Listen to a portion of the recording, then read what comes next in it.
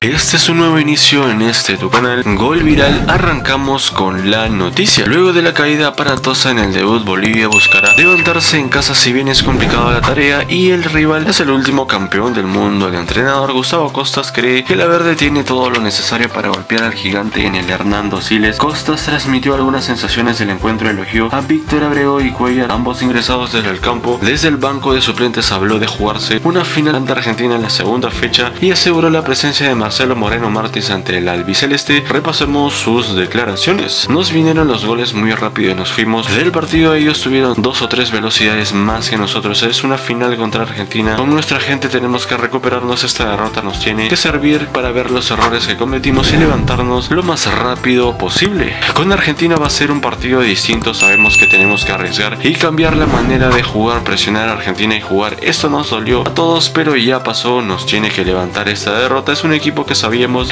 que era superior a nosotros de locales, tenemos que hacernos fuertes ya, fuertes, ya tenemos que pensar en el partido ante Argentina. Sacamos a Marcelo pensando en Argentina, le habíamos dicho que iba a salir. Él está bien físicamente, el choque entre bolivianos y argentinos será este martes a partir de las 16 horas. Hora boliviana será por la fecha 2 de las eliminatorias rumbo al Mundial de Canadá, México y los Estados Unidos. Así nos despedimos de un contenido más del canal. Comenta tu opinión. En la parte de abajo nos reencontramos con más info aquí en Gol Viral.